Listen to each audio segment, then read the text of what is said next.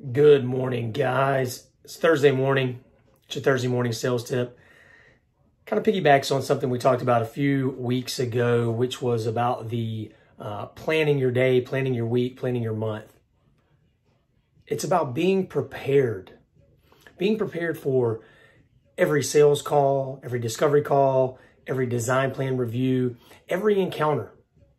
Whether it's for work, or in your life, just being prepared. Take the time to prepare your mind, prepare going into that, uh, as we say, battle, right? So, uh, proper preparation prevents poor performance. I've said that before. I heard that from a great friend of mine, and it holds true and applies to everything. So I would just encourage you to, again, visualize your goals, write them down daily, weekly, monthly and be prepared because when you're prepared, you can't be thrown off your game. Happy helping. Go be great.